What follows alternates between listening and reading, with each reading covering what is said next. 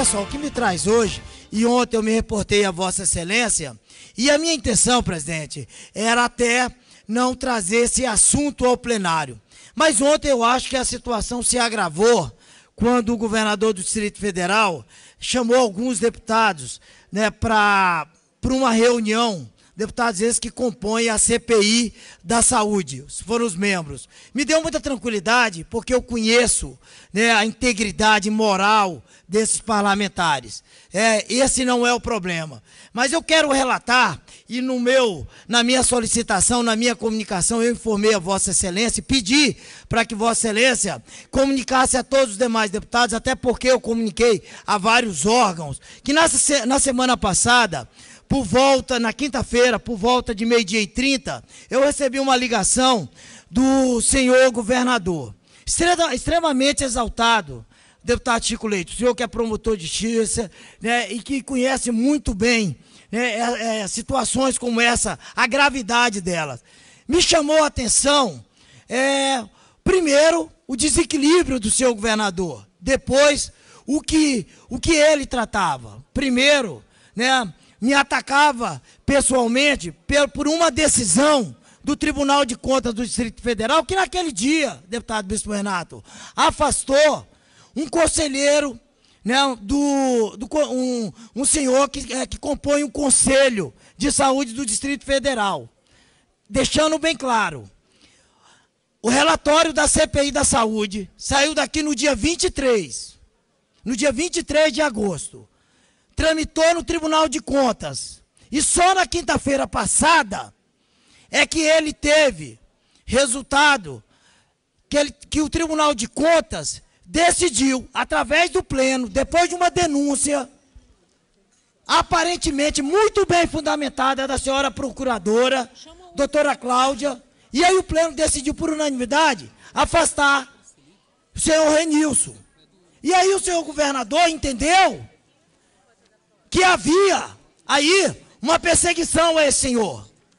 E aí começou a fazer ameaças ao presidente da CPI, começou a fazer ameaças aos policiais. E para mim, deputada Celina, aí é o mais grave de tudo. Porque eu não tenho medo de ameaças. E disse isso ao governador, que não tinha medo de intimidações. Até porque o trabalho nosso é sério. O trabalho que a CPI faz hoje não me tira o sono. Porque nada é feito lá, deputado Bispo Renato. Sei que não haja fundamento. E eu pedi para cada colega. Existem vários servidores de carreira que compõem hoje a CPI. E todos são testemunha. Que eu jamais admiti que uma única vírgula entrasse em qualquer relatório que não tivesse todo fundamento. Não existe uma só leviandade e tenho a consciência tranquila disso. Então não permitirei que nós sejamos atacados e que policiais que investiguem supostos crimes ou irregularidades sejam ameaçados. Não serei intimidado e o nosso trabalho vai continuar.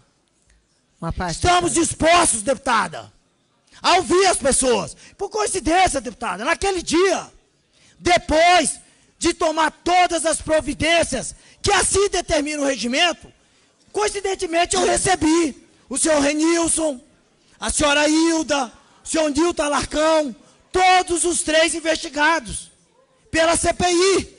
E eu os recebi no meu gabinete, te, tendo como testemunha o secretário-geral da CPI, que é servidor de carreira dessa casa. Como testemunha, o procurador dessa casa também, e muitas outras pessoas, para que não tivesse dúvida, deputado Chico Vigilante, da lisura e transparência do nosso trabalho. Porque nós não queremos que, tem, que haja dúvida nenhuma, deputado Reginaldo Veras. Agora, e que o senhor governador tivesse me ligado, que tivesse me chamado para conversar, e que tivesse apontado o que ele entende de equívoco. Agora ligar transtornado, fazendo ameaças e tentando me intimidar através de ameaças a policiais, nós não aceitaremos.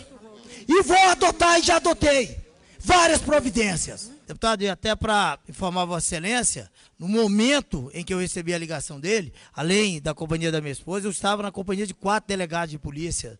É, ou seja, é, jamais acusaria o governador se não tiver certeza absoluta do que eu estou dizendo. É, é, quem me conhece sabe que eu trato as coisas com muito zelo e muito respeito. O relatório da qual o governador acusa Está tá assinado pelos policiais. Os policiais colocaram seus nomes embaixo, deputado Ricardo Vale, porque não se acovardaram. Não é um relatório anônimo, não. Eu assinei o relatório, encaminhei, porque nós não temos medo do que nós fazemos, porque temos a tranquilidade de todos os nossos atos. Não se admite hipótese alguma. Podemos ser contestados, sim, deputada, porque é natural no processo de investigação, que você seja contestado. Estamos prontos para isso. Como eu franqueei. Pedi para que a CPI desse toda a documentação para as pessoas que estão sendo investigadas. Agora, o que não se admite é que o chefe do executivo tente interferir. Isso nós não admitiremos. E bem disse o deputado Raimundo Ribeiro. Eu espero que essa casa adote todas as providências porque a CPI vai adotar. Já comuniquei a procuradora, a procuradora do Ministério Público de Contas, ao presidente do Tribunal de Contas, a qual o ato do senhor governador é vinculado àquela decisão. E vou comunicar ao procurador-geral do Ministério Público, porque se faz necessário. Não que eu esteja intimidado com as ameaças do senhor governador, porque estou acostumado a lidar com situações de pressão e de muito mais. Passei 30 anos na segurança pública e lidando com bandidos. Então eu não tenho medo de ameaças, de intimidações e de pressões. Nenhuma. Agora, quando se ameaça levar policiais para a corregedoria, usando a máquina do governo para intimidar quem está trabalhando, isso nós não vamos admitir. E espero que essa casa também não se cale inerte diante de fatos tão graves como esse. E volto a dizer, eu não tinha interesse de vir ao plenário hoje, me manifestar. Não fosse a atitude do senhor governador em chamar os deputados ontem, que compõem a CPI, numa tentativa de desvirtuar os fatos, com certeza. Muito obrigado, senhor presidente.